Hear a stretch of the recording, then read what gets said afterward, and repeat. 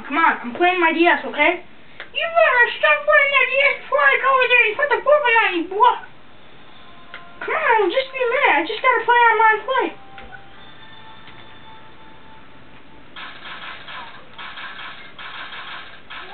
Don't get right now or else I'll hurt you.